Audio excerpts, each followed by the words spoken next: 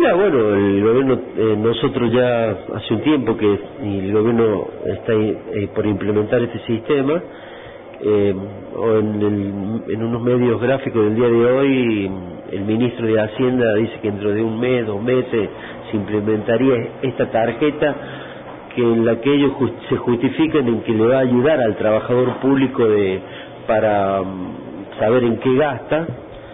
Y yo creo que no es lo correcto, o sea, acá lamentablemente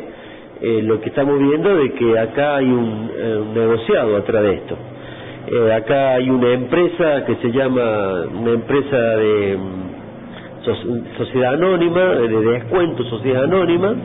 que no sabemos quién las integra, nada. Él dice que no va a tener ningún costo para el empleo público, pero sí va a tener un costo para las casas de comercio que se adhieran a este sistema y por ende nosotros también, las, aquellos todos sindicatos o organizaciones que contamos con, con nuestros servicios de orden de compra para nuestros afiliados, ¿no? Eh, acá, eh, como te decía, eh, hay un hay un importante de, ingreso que hay a través de los distintos códigos de descuento de todas las organizaciones gremiales y que hoy una empresa de, descuento social anónimo que no sabemos quién la integran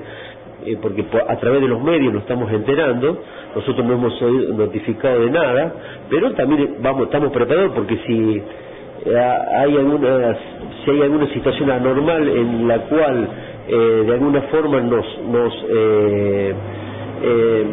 nos como te podría decir no nos permite seguir funcionando como como venimos funcionando y seguramente tendremos que actuar a través de la justicia y a través de nuestros abogados. Eh, por eso te digo ahí tenemos una incertidumbre hasta ahora porque no hemos sido notificados de nada pero bueno como primera vista a primera vista vemos que acá lamentablemente hay hay algo grande atrás de esto que realmente si bien es cierto el trabajador va a tener supuestamente un beneficio, pero también va a haber un beneficio para esta empresa que va a administrar todos estos, estos fondos y va a autorizar el que pueda o no pueda gastar.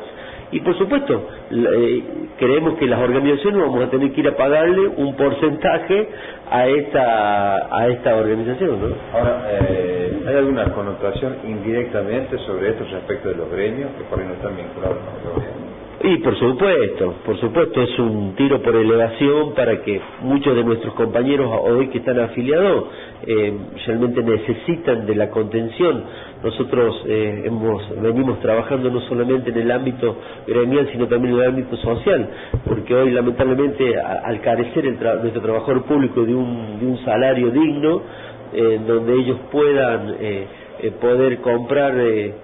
su, su, su, sus alimentos, su ropa, eh, hemos tenido que también contenernos y, darle la posibilidad de, que distintos comercios adheridos a este sistema eh, puedan eh, acceder a, estas compras. Hoy,